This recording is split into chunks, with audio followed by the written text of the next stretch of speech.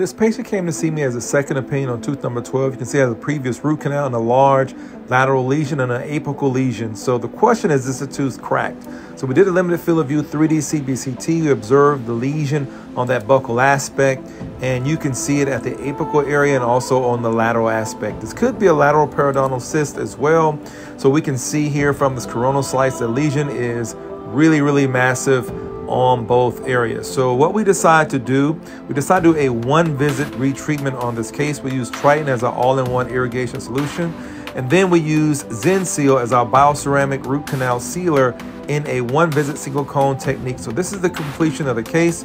We brought the patient back in six months. Look at this bone healing. I mean, his bone healing is phenomenal in just six months. So you can see here that that bone is already remodeling from the outside towards the inside. So this is another view showing that bone is healing really nicely.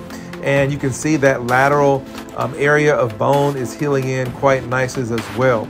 So we have these kind of cases. We can't just jump to conclude an extraction and implant because it's cracked because a lot of these cases can be retreated very successfully. If you notice very clearly, there's no lateral canal popped on this case. This case was cleaned and shaped very well, and we had a very favorable outcome. I talk more about this in my textbook, Endodontic Keys and Cases, available on Amazon.